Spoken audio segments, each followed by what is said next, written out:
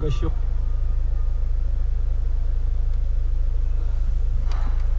이제 네.